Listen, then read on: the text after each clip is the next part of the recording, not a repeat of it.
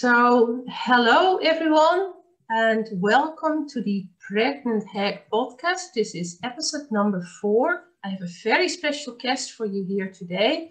It's Kelley Harrell. She's based in the United States.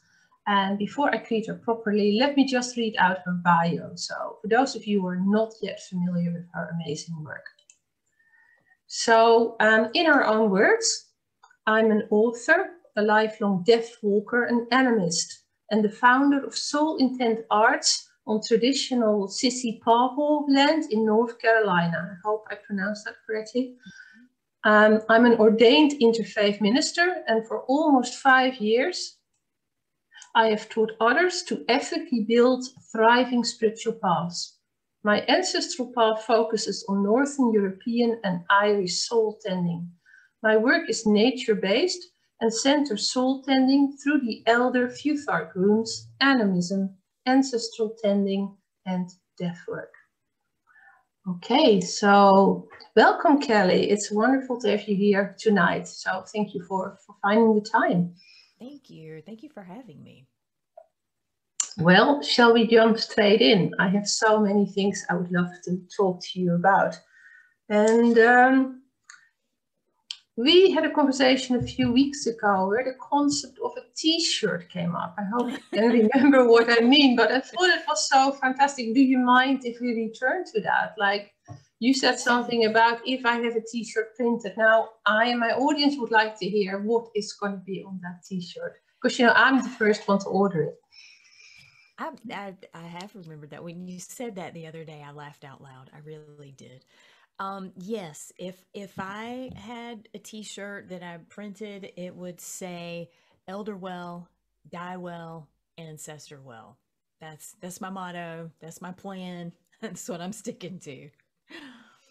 Yeah, and I can only agree because I feel that all of these areas for me rank at the most important work of our time. And I think along with shadow work um, as well. So I hope to get onto that as well. Like um, I'm always a bit ambitious in what I want to cover in any dialogue, but let's go for it. So um, could you, I think not everyone who's listening will be familiar with the concept dying well. Would you explain to me, as like a soul tender and a death walker, what you mean by that? Dying well means, I think it can mean different things. Um, and, and we're talking about an individual level and also maybe a collective level of dying well. At an individual level, dying well means reconciling trauma of your life and potentially trauma in your death itself so that you can move on to what comes next in a way that you can choose freely. That is also complicated by, of course, we're not just an individual moving through by ourselves. We're we're enmeshed in all these systems. Some of these systems are community, immediate family dynamics that we're enmeshed in, or or bigger you know, political, social structures, but there are also our ancestral dynamics that that we're born into. And so dying well in that sense also means reconciling those things. And so, you know, we, we kind of have like, I don't know if you would say like a step one, step two, or sort of just different layers that, that we have to work on. But I do feel like that is the work of our time. We have not died well for a long time in in in uh, you and I had this conversation also. I want to say Western world because it's my habit, but I feel like I have to dial it in and be really specific to, to what my lane is, and that has been settler culture in the United States. We we haven't died here well in a long time, and there are a lot of reasons for why that is. I, key among them is not being animistic. I think, um, but absolutely the work of our time is is dealing with thousands of years of dead that have not died well. They have not gotten to reconcile their personal lifetime stuff their ancestral stuff and when it doesn't get reconciled it has to go somewhere. Hmm. Somebody bears that and so the living carry that. It complicates our personal lives and the systems that we move among. So we're not just talking about it's imperative that we die well the, you know people who can speak this and hear this now but that we make sure all of those before us have died well that people in our communities are dying well yeah, and often that means reaching out outside time, and that's where the death walking comes in. When it comes to, you know, I often speak in my classes of ancestral pain or pain and trauma that pulls in the ancestral field. And though the souls of people who are dying, you know, will often move on and transition uh, in the other world, and sometimes they don't, and that causes a problem. But it, you know, and I think I personally had a Christian, a Roman Catholic upbringing, and there was this very simplistic idea that once people die, everything is well because you know they are miraculously lifted up to heaven. Yeah. Now, I think that that is such a dangerous idea because even as a child, I did psychic work and I observed it wasn't like that. So I've always known that from a very, very young age. So the way I explain it to my own students is that whatever we do not resolve in this lifetime, you talked about resolving our issues and actively working on things. So, whatever we do not resolve, balance, make our peace with, even if we manage to move on in a moment of death, it pulls in that ancestral field. So, there's someone who's going to come along, it may even skip a generation, but it's kind of like a backpack left on the mountain that someone will have to strap on their shoulders again and then carry. And then, you know, what that means is that people are not only working their own issues that they came into work on, call that soul agreements or call that karma, or, you know, you can use words from different traditions. And in the Northern tradition, you would say Orlog. But the point being, um, it doesn't go away. Someone needs to deal with it. So from that point of view, would you say, say Kelley, that we're obviously in a pandemic and you know we're all witnessing both you know on TV and on our screens, but also I think most of us by now have been touched by the deaths of at least some people in our more personal circle and lives. Would you say that that holds up even more sort of mirrors and invitations for us? I mean, how do you view that? I think it does, and and I'm glad you bring that up. Um, we we've talked about this over the weekend in the the community of the two year program that I mentor about the the absolute fatigue and exhaustion, and at the same time witnessing that it it's dire. I mean, the screw has turned even more with this need to to walk our dead literally as we have been talking about but also the dynamics the the the revelation of relationships uh, with poor systems, with harmful systems that have emerged over the last year in pandemic time, to to be able to death walk those, like all these personal um, personal habits, personal biases, personal projections. So you know, even when we talk about death walking, it isn't necessarily just human souls, but other than human souls that in the last year we we can't ignore it and yet we're living it at the at the time you know we're living it simultaneously with this revelation and how to manage the fatigue of what that means on a day-to-day basis and how we hold ourselves as soul tenders to be able to make a difference in that it's it's really challenging it's very challenging. And again, I'm aware that, you know, my audience draws from people who have done training with me for years to people who are like on a newsletter and check the links I send out. So may I ask you to just define for our audience what death walking actually is and why we need it, please? I feel like in the most simplistic terms, death walking is facilitating what is no longer functional in the human layer of um, of being so that it has the opportunity to move on to make choices for what comes next. And I know there are a lot of different schools of thought about what is included in that. I feel like death walking is a large category that can include ancestor tending. And I've, I've talked with other practitioners who parse it out a bit more. They're like, no, death walking is purely doing the human, you know, closing, ushering out part. And once they're out, that's a separate thing. And like, I'm, I'm all fine with however it needs to happen. We just need it to happen. Yeah. but, Yeah. to me, the, it is a very broad um, helping what no longer is functional where it is be reconciled in the human realm of being so that it has free options for what comes next. And so do we. So do we who are still here. Yeah, because it frees up space for those of us still here. And I would just like to inject here that in the Northern tradition, when we do psychopomp or you know death walking soul conductor work, um, you know, in my own work and with my students, I do that by means of the wild hunt.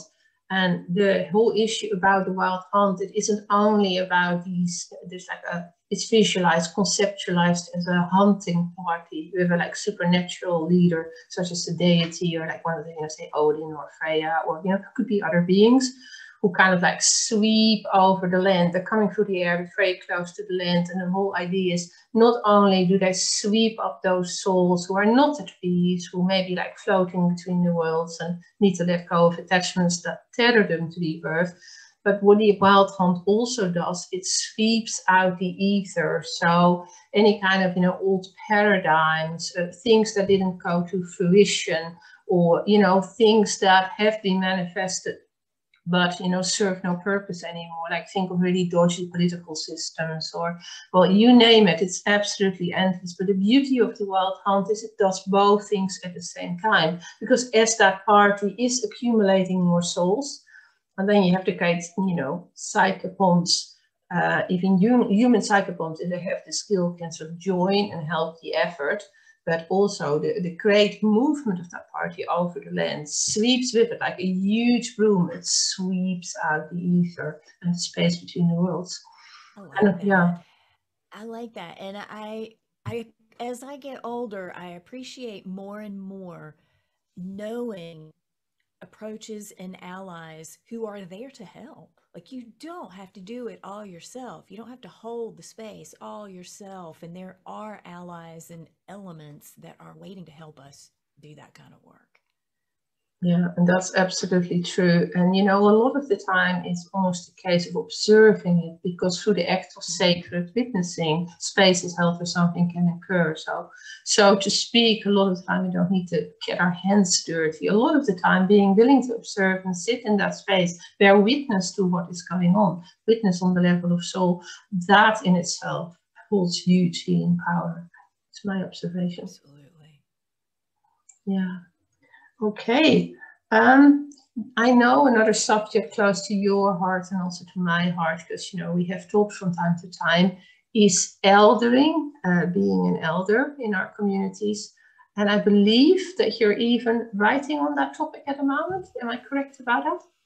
I absolutely am. That so tell us what what is your take on I know you can't tell us everything that's going to be in a book, but could we have the um, um, the summarized version, the most important pieces. I feel like what it what it really needs to encompass is validating people's inner yearning of feeling like some kind of leadership is missing and also some sort of inner yearning that I have a role. I have a job to fulfill in that. Part of that yearning is for me to fulfill. And, you know, I'm Gen X you know, culture. And by and large, that's the generation, it was the latchkey kid generation. It was the generation that kind of was catapulted into a lot of adult arenas without um, without elders, without well elders to necessarily prepare them to actually be ready to do those things. I think that's just the canary, though. That that that generation may have been the canary in the coal mine. And what's real is that we haven't had elders for a long time. We haven't had them probably as long as we haven't been animistic, I would say. But realizing that not only is that real, that that dynamic that we have sensed of somebody's supposed to be in, in charge of this and and compassionately so, but I have a role to play in what that role is. Part of it is mine. And part of being able to step into the role of elder is, you know, things like understanding your own needs, understanding your boundaries, uh, and and death walking. I I feel strongly that death walking at a base level is an animistic thing that we are all supposed to be doing, as opposed to this very special elite shamanic thing that only some people are supposed to be doing. There are deeper skills to all of it, absolutely.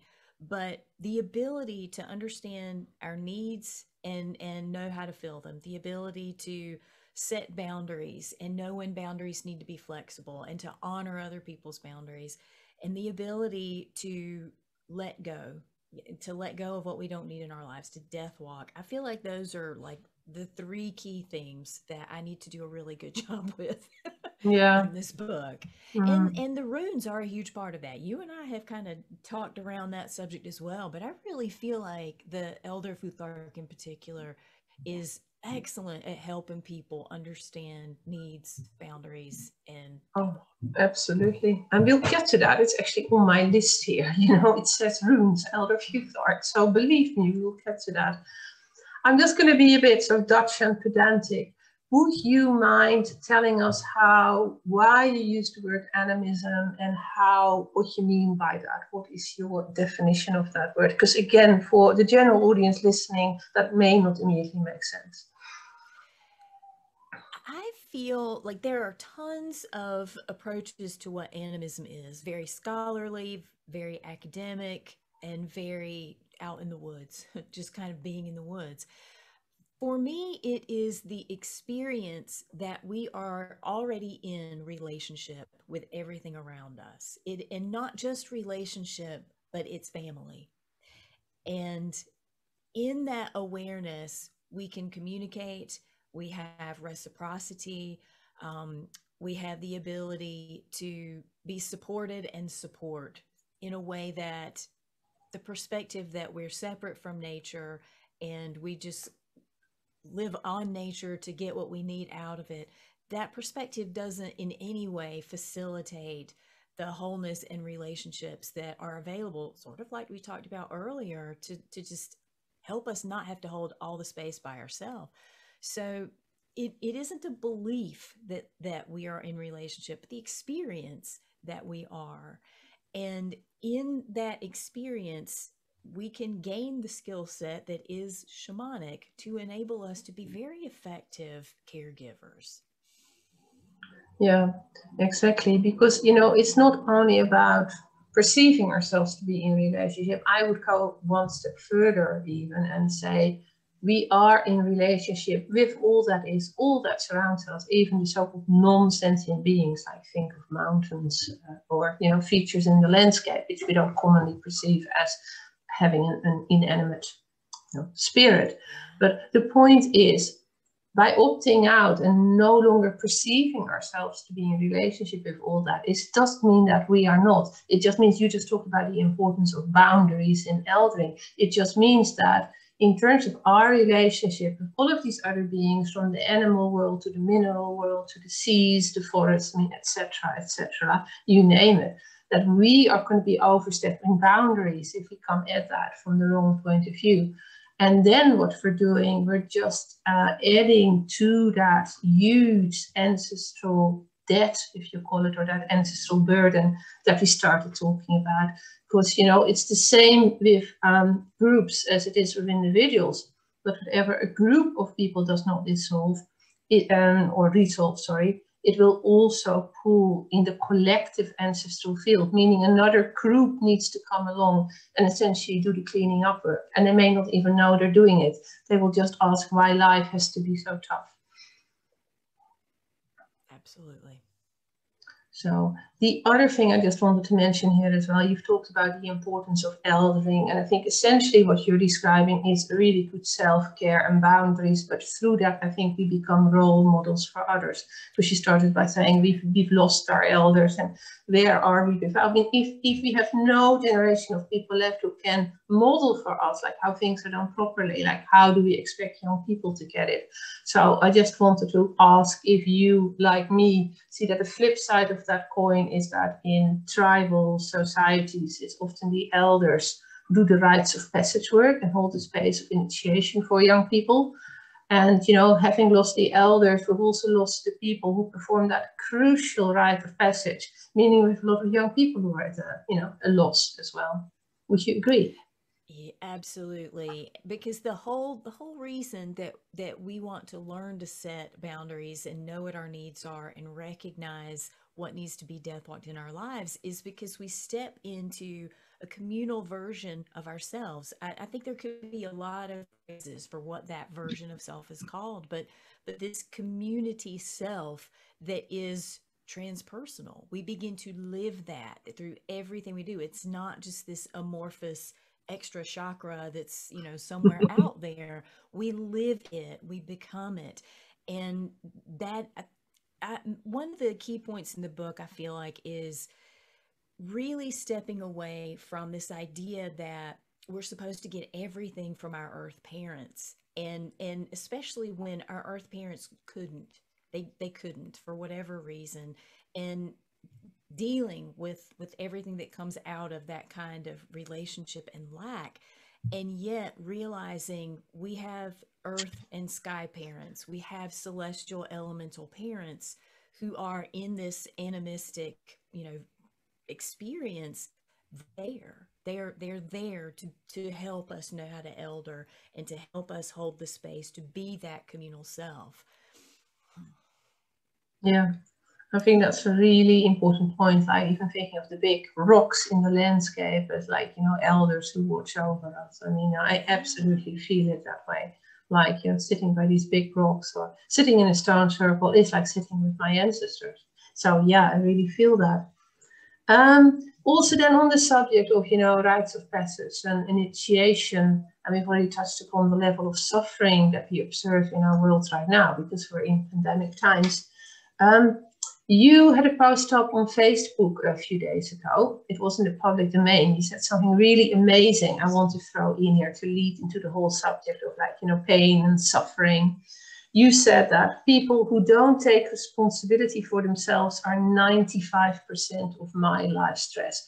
I thought it was totally quotable. It's fantastic. You think written down on a piece of paper. So, uh, you know, because that is like the opposite of what we're talking about, taking responsibility and like, you know, being aware. So I would like to talk for a moment about people often can be, what's the word? When people do not really understand what we do, they can be very kind of flippant or dismissive. It will go like, like say, I had this knee injury for the last two and a half months and became really immobilized. I was on crutches, I could barely go up the stairs and so forth. And then people say, but hey, you do healing work. Aren't you a teacher of this supposedly powerful material? Why don't you just go heal yourself? Now, of course, that's exactly what I was doing. And an awful lot of insights have come from that period of being sure. But like, what would you say about that? The kind of relationship between between being called to do this kind of work and like say serious life challenges or even chronic health issues?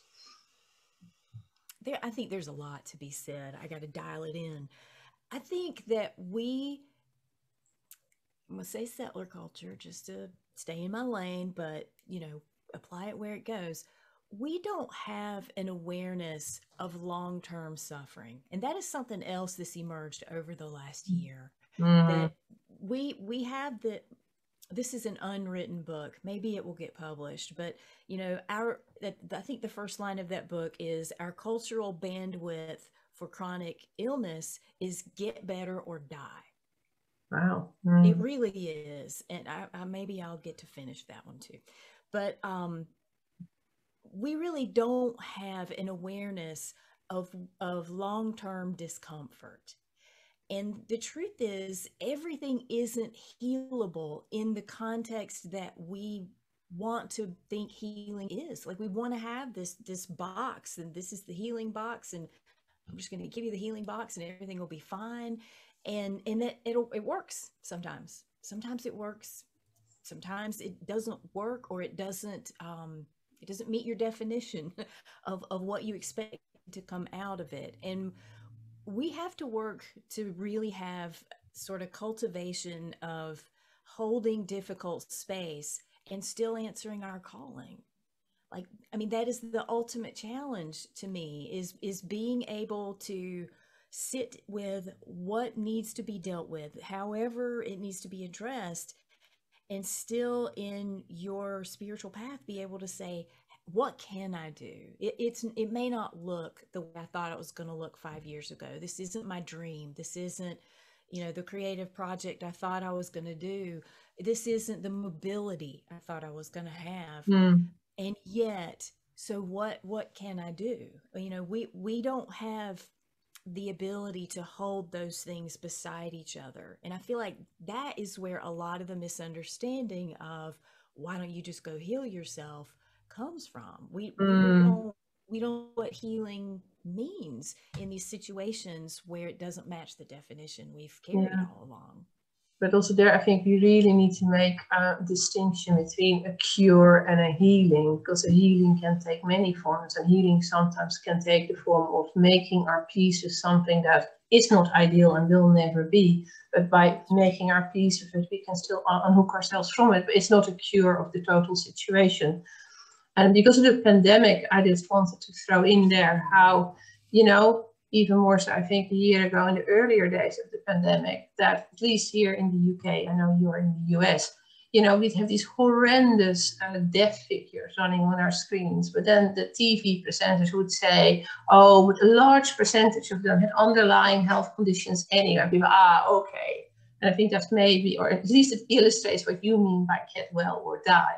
But you know, now I think we have so many people with what we call long COVID that it's just not tenable anymore to say to people, well, choose now, like, you know, get well, or if you have an underlying health condition and like maybe you're not long for this world. And, you know, a lot of people who have underlying health conditions have said to me, I feel extremely uh, uncomfortable and deprioritized by the way that that's just thrown around. Oh, underlying health condition. Oh, yeah, okay, that's fine then course, that's not yeah. fine. Oh, yeah. It's very dismissive, it's very rude, and it's very painful to hear, you know? It is painful. You're right.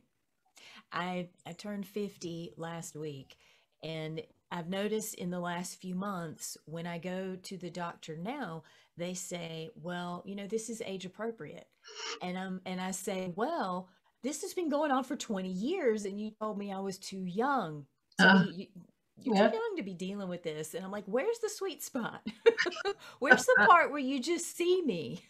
yeah, yeah.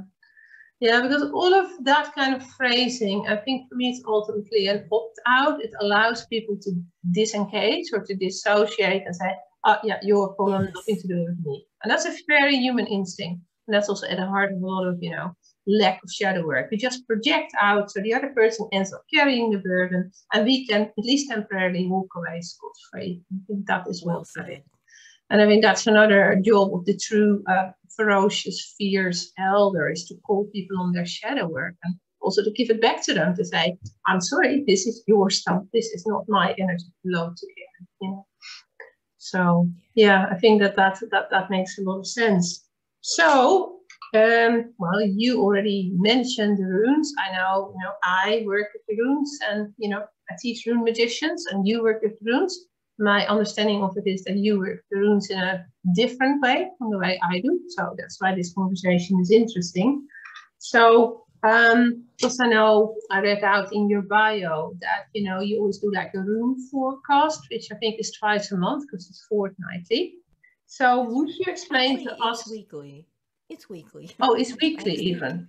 That's even more impressive. I was under the impression because I know that, you know, you use a system where every period of two weeks, a fortnight in a year, has been allocated a rune. So the, the wheel of the year has been teamed up with the wheel of the runes.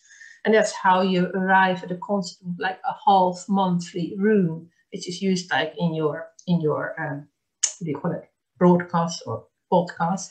So I was just gonna, you know, you know more about it than me. So I was just gonna invite you to talk about that a bit, and also how you use those runes in all of these topics we've just covered, because you said they're great allies. That's that's that's a big conversation. Big topic, but hey, let's go so, for it. Put you on.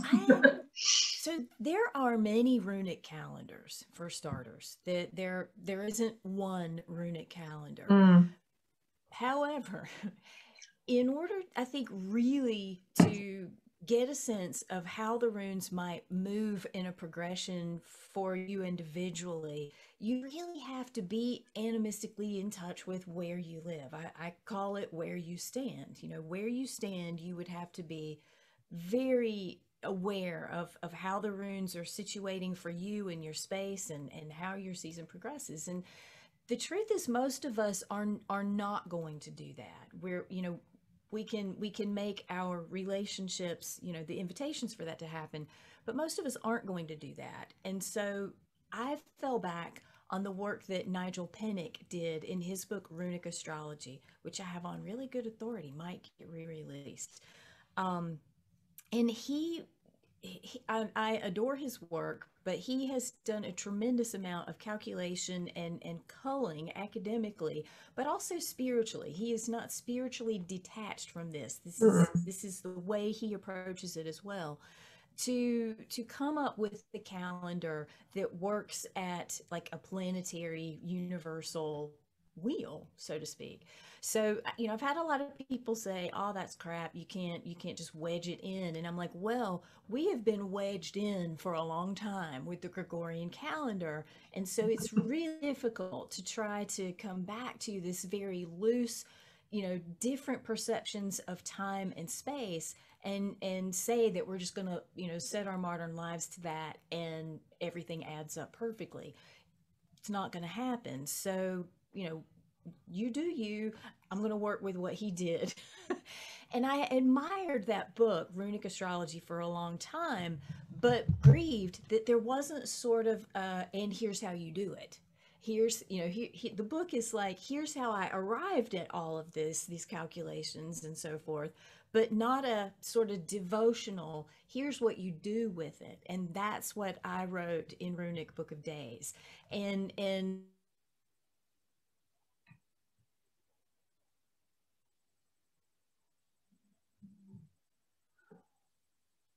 and run free.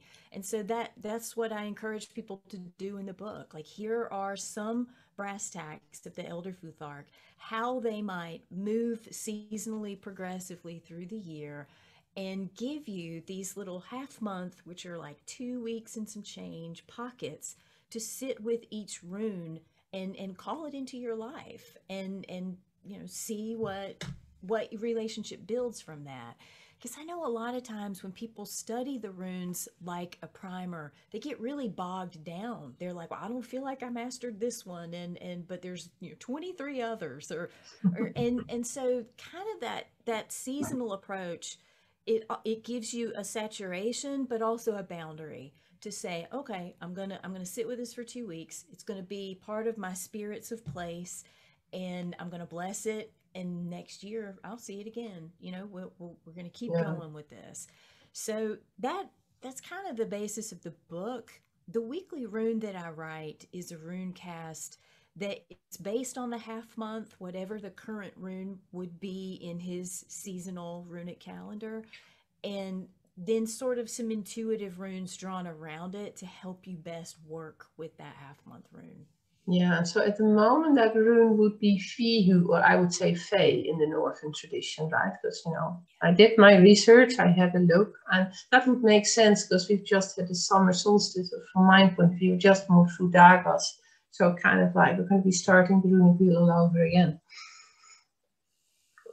Yeah, I think tomorrow, according to his calendar, we would move into Uruz.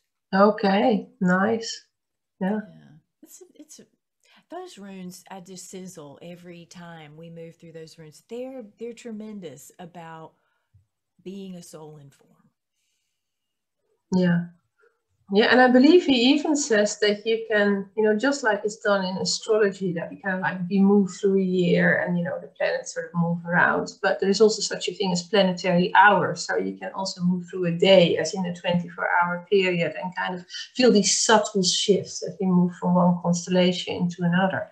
And I believe that you can do that with maybe more advanced work, but you can do that with the runes as well. That, you know, you make an agreement with yourself because you say there is not just one system and I can certainly sort of see there would be different arguments to be made for how it could be done differently. I mean, I've had to look at this myself. I fiddled around with it. But I like you those arguments. You know, a lot of people think I'm going to go, no, but no, you have to come into relationship the way that it mm. works for you. Exactly, and even if that means, you know, with my own as rune magician students, I sometimes talk about the dial on the washing machine. Say something really doesn't fit for you, like be like turn the dial and sort of see if if you know the clockwork lines up or not, and don't get too hung up on this is absolutely right or it's absolutely wrong. It's about being in relationship, and if this brings you insights and it's helpful for you, then the dial is on the right the right setting for you. That's how I explain it to my own students. So um, yeah, anything else about the runes or have you said enough about the runes? I don't know. Can we ever say enough about the runes? I don't think so. I think I we both writing books about runes. I, they are if if there are keys that can help us elder well to the whole deal elder die ancestor well i really feel like they're in the runes and could you, actually, you said that before, so it's a key point. But again, uh, uh, you know, quite, I have a whole group of rune magician students and I will, I have like a closed Facebook group for them. So I'll put the link to this video there. So I know that some of them at least are going to be listening. So I think I would really love to hear from you. It's a great statement, but like, you know, like how do you practically do it? How do you use the runes to elder well, for instance? Honor uh, this is all other conversation imelda. I know the utharkist futharkist thing. I, I think I, yeah. I, call myself bifutharkist because I, I can see it both ways. But if we're going with that that traditional ordering that we've been given and i don't think we have to but that's what i'm going to roll with for now they they give a beautiful progression of in in the first aett to to say here's what we need to have in place to be a soul in form and there's there's intense challenge in that. There's embarrassment and and um, bias and and understanding how we do this in a way that helps us move through the world safely. And we end on this super beautiful joy note. And then we progress into the second aett which is all these other beings are doing that too and we have to deal with bumping into them and maybe the way they're doing maybe they're weird is not going to jive with ours and and dealing with the challenges of the second aett and still ending on a relatively high note where we have allies. We have this this nature um, elemental force that has our backs and then we kind of progress into the third aett where we know the deal and we're sore. we, we arrive a little bit sore and raw, and we have a lot of choices to make about how we're going to let the wisdom of that experience of the first two aetts filter into how we move through form and and ultimately kind of come to this place where that's it there, there aren't cookies at the end of the rune show. There aren't balloons and confetti. There's the realization that this is it, and we're going to do it. We're just we're going to cycle through that. We're going to do it all over again. yeah. And and learning yeah. to find the beauty in that, like as you were saying before, learning to find the peace in that. Yeah. I yeah. value that. I, I I just value it immensely. Yeah, no, I agree. I mean, like for me, the runes are tremendous allies, and I wouldn't swap them for anything. I think it also depends on like what you learn. Absolutely. A lot of people talk to me about tarot cards, and for me, you know, it just studied it a little bit, but never got very far with it, and I've just accepted that. For me, it's not tarot cards. Like I clearly am meant to be working with the runes. And also in that third act you just talk about, for me, there are a lot of astronomical rooms there. There, you know, I feel you get insights that aren't even just personal anymore, but you get to the transpersonal and the cosmic and the larger sort of cycles of time that play out. You see, that's very philosophical. So yeah, I'm completely with you there. Yeah, great. Um, then I would also like to talk a bit about um, you know, I know you have two children, twins. Um, I think they're younger than Arlot. I have three young men. They're not really children anymore. They're all like tower over me and they have hairy legs and stuff. So I think I have to learn to not call them children anymore. They're like young men. But um, how does that work for you? Are your children interested in what you do? How do you bring your, you know, your runes and your spiritual practices into your parenting? I think that's a huge question for many people. When they were probably four or five, we started working on the runes. And I, I think maybe they knew them before they knew the English alphabet. And they made them, you know, like they made their own set of runes. And, and so, you know, they they find the runes in a lot of aspects of life. The challenge of holding the space to let them see what my worldview and experience is and and hold it openly for them to form their own is mm-hmm. challenging because you know as the parent you can't prescribe that you you just kind of have to open the space and and let them move in it as they will. One of them is incredibly intuitive and articulate about it and the other one doesn't think they're intuitive but is and isn't articulate about it at all. So it's interesting to watch that dynamic play out. Parenting them has probably been one of the two most profound steps in eldering that I've experienced. You learn to say no just in life, not necessarily to them, but to them too. You learn to say no effectively in parenting and and I needed that. I don't know that I was going to get that another way. Yeah. So, you know, I often say like my children are my greatest teachers, but it sounds like you would agree with that because they are tremendous teachers, aren't they? It's true. And and it's it's hard sometimes because they I don't I don't know what vocabulary they would use to describe themselves, but they're very concerned about nature. They're mm-hmm. very um, willing to listen to nature and and be compassionate in nature and they're also pissed off. They're they're like, why aren't we doing more? Like I yeah. remember mm-hmm. kids were about five and they were understanding recycling. And we were like, well, this is what we do. And and then they would say, Mom, is this recyclable? And I'm like, it is, but not here. Yeah. Like, yeah. Why? And, yeah. and and they would be like, why aren't we doing more? And and I'm like, well, we'll ha- we'll have that conversation also. I think that's really great. but you know, even the word recycling, it reminds me of a boy who was in. I, I ran a shamanic program for children and young people for five years, and there was a boy in that group who at some point then started asking questions. I think he maybe was I don't know ten at that point, nine or ten. So he started asking his mother, like, where do I go when I die, etc., etc. And his mother, very shamanic, you know, this is an important conversation. I'm going to sit down and really explain, you know, explain this property, and I'm not going to shy away from it. So she tried to give him the whole lowdown, and she understood it. And he just said, "Oh, okay, so we all get recycled," and then he ran off to play. Like for him, like, it was very straightforward. There thought, you go. Well, yeah, we all get recycled. there you go. I mean, is there a quicker way of saying it? That is a great way to put it. Yeah. Yeah, exactly. Um, well, I mean, I could think of many more topics, but I actually have managed to get through the ones on my list. So I was going to ask, do you have any questions for me also? Or is there a topic that you would like to talk about that I haven't raised?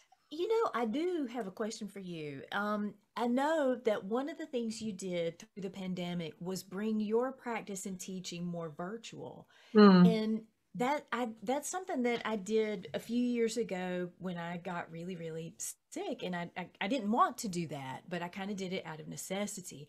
And I've had a lot of people say it can't be nearly as effective. That's that's right up there with the the, the chronic illness heal yourself thing. How has it been for you? Um I think very very interesting. Um like you, I didn't want to do it. I mean, like even a year ago, I had two sort of, you know, long-term students and associates who've been with me for years, who pretty much, um, you know, dragged me to it and said, Imelda, this is what you're going to do next. So there's going to be a long pause here, and you don't want that. It's not fair on your students. So kind of like, I mean, the horse was not only led to water, the horse, you know, the face was stuffed in the water bucket. And I'm very glad they did. I'm extremely grateful to these two people that they put me teaching online. And I think the whole process has been it's very, very different. I mean, there is a stress to it that you don't experience in real teaching. I mean, real teaching can be extremely stressful in a different way. Like, don't misunderstand me. But for me, the kind of dealing with the tech and the mishaps, and you know, I'm not yeah. a natural born tech person, adds a layer of stress. I don't feel it all in a regular classroom. And also, there's just something to the, you know, when people are in a room together and you do ceremony, and you know, you can have that pot of tea afterwards and sit on the floor and talk. Right. Um, so that was quite difficult, but I've also found that it is amazing how far you can actually go on Zoom and how you can do substitutes. Like, for instance, um, again, this is not very kosher after the pandemic, but I used to sort of say at the beginning, on the end, like when we form a circle, let's all hold hands and physically form that circle. And then, you know, when the workshop closed five days later, I'd say, let's all hold hands again. And now we sort of release the circle with love and gratitude and with that whole hand holding business was disinfecting and stuff. well, you know, that took a different swing. but then I discovered that even on Zoom, you can do that. You can say to people that, you know, because people see, you know, like we see each other now, and to sort of say, well, you know, you're holding the hand of the person on your left and on your right, and I give them certain instructions and, you know, perform certain actions and actually, when you do, you feel their hands in your hands, even on Zoom. Not just that, you know, whose hands you're holding. So it's almost like uncanny how, you know, I think Zoom also has certain, we'll call it shamanic or animist, if you like, properties that in a very real way it can dissolve time and space.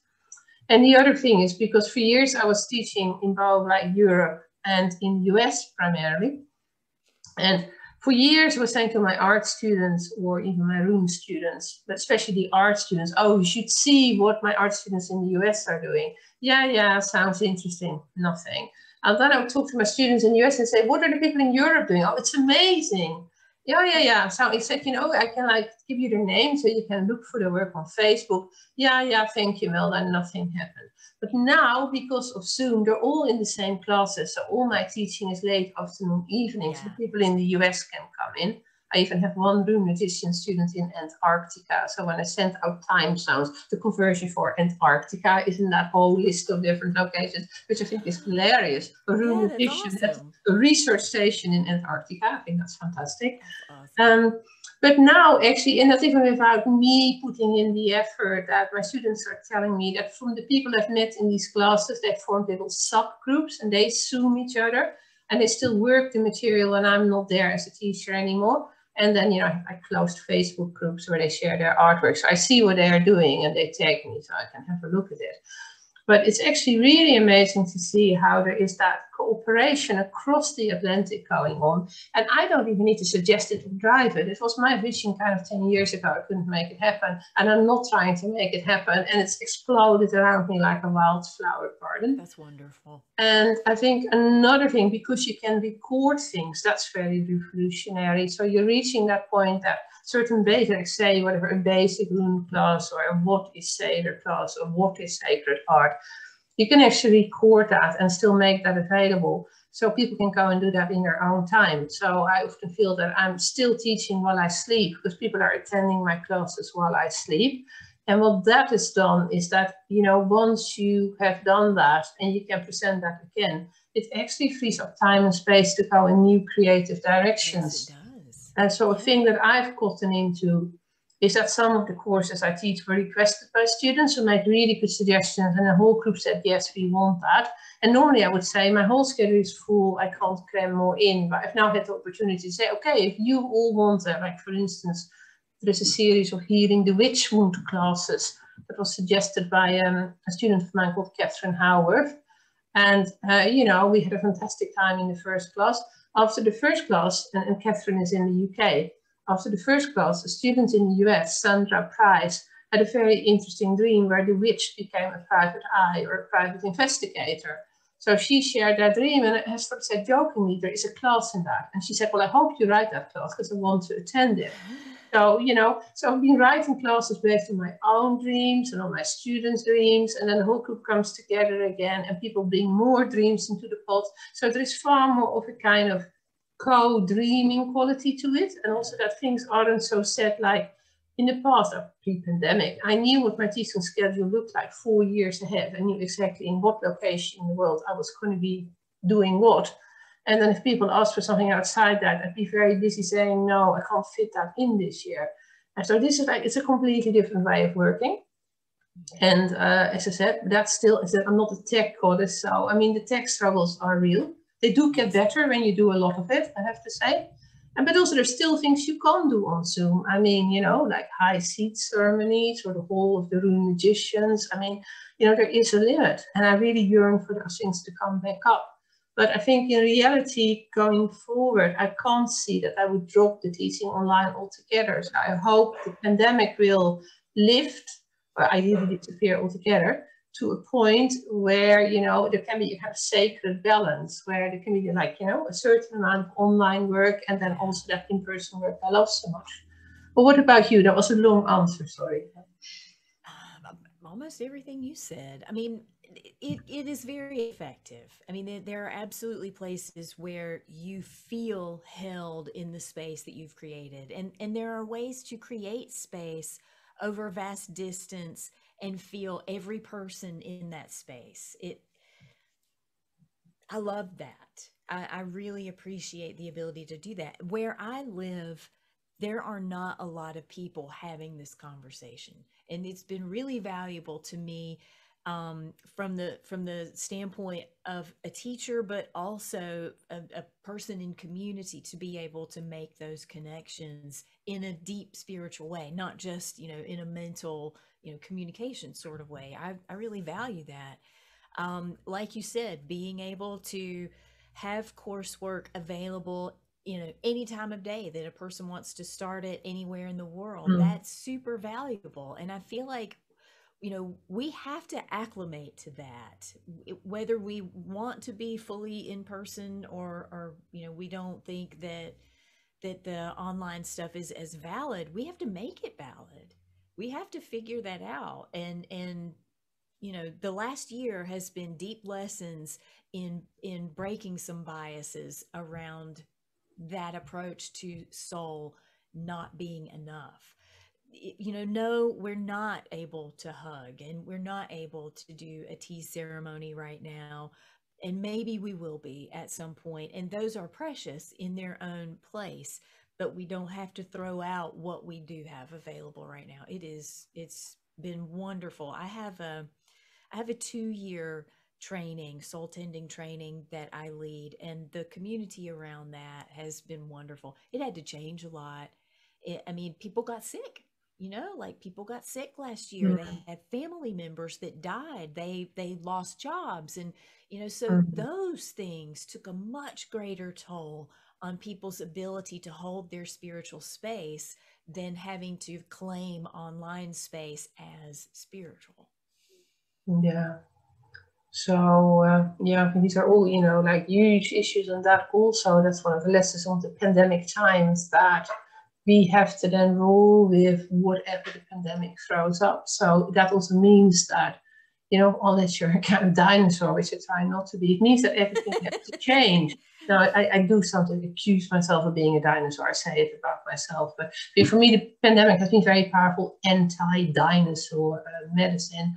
Um, but yeah, I think my final question for today is then going to be, you mentioned the word community I think that's such a huge thing. It's such a key word because also, you know, we've all been locked up in our houses here in the UK. I don't know about the US. I haven't been there for 18 months, but actually in the US when the pandemic started, got home the last flight out of Philadelphia. You know, I nearly got stuck that. there for quite a while. I remember you saying that, and I thought, yes. So I remember at Philadelphia Airport, all the flights cancelled, praying the flight to London would go. Got three kids over here. Can you imagine? Scary anyway, I haven't been there since, but I know that here in the UK, like notoriously, the government was making announcements such as after May 17th, you're allowed to you're allowed to hug family members again. And you think, what has the world come to? That the government tells us that we can like hug family members and all? you know, it's like that's like really, really crazy. But then back to the subject of um, community for a moment. Has and you've already talked about it in a teaching sense, but also, I mean, like we teachers also need to be in community and we sometimes need to talk to colleagues because it gets very lonely holding it all down by yourself. Has the pandemic for you changed the way you view and access your community? It has. It absolutely, I mean, I, so many ways. I realize places where I could do more. I mean, truly, like with with all the limitations that I'm handling, I, I realize places where I can do more and and am doing more, and that was so necessary. Um, also, just understanding what community serves for me personally like we need to know that we, we just kind of have this assumption you're you're going to be part of a family you're, you're going mm-hmm. to be mm-hmm. part of a community but we really we really do need to know what our role in that is and do it. And, and you know because we're not there for no reason. We have some you know lower C calling maybe in our communities to be able to do what that community needs. That's how it stays alive. That's how yeah. it you know gains its life force and its agency. And and being able to realize what community ne- means for me what i need from it and inversely what i give back to it has been everything and it has it's generated changes in my two year program as a result. And, and this is something that we've, you know, very democratically talked about and said, okay, you know, we all have full lives. We, we all have families. We all have very mm-hmm. full lives. What are we doing as, as this community? And this community has become its own life force. You know, there's a point when you, when you foster a group along the way, it begins to have its own cosmology. It begins to have its own agency. And the conversation of the people in it needs to change to respect and and hold that. And so, you know, there's there are growing pains and really, really growth, a lot of growth, period, about mm. what that mm. community means and and where we want it to go together. Yeah. So you get both the growing pains and the really big gains. And then what of that at the moment there is a trend for people to be in what I think of as bubble communities, you know, like social media facilitates this whole thing. Oh, well, they'll snooze this person, unfollow that person, unfriend that person. And personally speaking, I'm really weary of that. I know people have said to me, well, my Facebook homepage is like my uh, living room. So kind of I set a boundary of what happens there. And I can completely understand that because, you know, of course, you want to feel welcome and safe on your own page. I mean, I get that. But on another level, I feel if I'm going to do all of that sort of tweaking and I don't let the dissenting voices anymore, then who am I in dialogue with? Exactly. I am in, you know, what, exactly. you know, in that sort of, you know, echo chamber or that hall of mirrors or whatever you want to call it. So do you have any wisdom to share on that? That you know, I think for a lot of people now, when when you know, like when I use the word community, like I'm 54, so for me, community is still like when I was a child, we had a church community, there was a school community. So for community, for me, very community is also the people who are around me that I don't necessarily choose. They're my next door neighbors. They're the people I sit in class with, you know, whatever, whatever. My parents' friends that I wouldn't have for friends, whatever it may be. But there is now, and you know, with three young men in the house, this trend away to the sort of, you know, like bubble communities. And like from a point of like, you know, animism and, you know, like if we're going to be closing on the t-shirt concept again, how do you see that? Do you have anything to say about that? I feel like social media is a huge lesson in boundaries and shadow over and mm. over. And and when I hear people saying, you know, I I don't like the echo chamber effect, I'm like, you have the power. And and and and it's it's challenging because so much of our social engagement plays out over social media. It's not just someone we pass in the hallway mm. or you know in the street anymore. And it, it's hard. It, it, it's genuinely hard, but we have to we have to learn what our boundaries are with that and they are not that different. You know the boundaries you have in the grocery store are not that different from social media well and, they, hmm, i think they shouldn't be but one issue is that also social media allows people to be on there but use a fantasy name so a lot of people on various social media platforms. I mean, you know, I think I caught an Instagram follower this week who was good God. Like, yeah, right, you know. Or like another time I got on Facebook a friend request from Archangel Gabriel. Yeah, right. You know, he's doing Facebook right, now. right. Yeah, Yeah, you know, it makes sense. So I think what you then get, and I don't like that the word troll is used for this. For me, trolls are the beings behind my house um, in Sweden in the forest, and you know, well, there's a whole sort of you know a whole wisdom and a whole tradition to that. I don't actually like that these people are now called trolls. That's a kind of appropriation of a word that for me means something else in the Northern tradition, but nevertheless, but I think that is also because you know in the past what you said about you know your community, your village, people you meet in the grocery store, even if you don't know their names, they're local to you. You know you'll meet them again, and that imposes some boundaries on your mm-hmm. behavior. But there are also people out there who hide behind a kind of fantasy name, so you've no idea who they are, where they are, and they're just like out there, you know, projecting a lot shadow onto other people. So, um, and for me, that's one of the things that makes social media different from what happens, you know, on my road or in my village. I find that I'm over the last year very done with a lot of aspects of social media. And and that's saying a lot having come through 4 years of Trump. You know, that was that was a lot of paring down of of friends. But I- find that different different places sort of attract or, or may I don't know, you know, because all the algorithms decide so many things behind the scenes. But Facebook for me is a lot harder to curate. I don't know if that's quite the word I want to use, but it's it's a lot harder for me to streamline um, how I want to be in relationship with people, and I find myself not as engaged on Facebook. I I Mm. do prefer I prefer Instagram and TikTok over Facebook right now. Yeah, you put me onto TikTok. I checked it out and I got so dizzy. I haven't been there since. But it was only because you said that there was real education going on there. I There, headed over and had a look.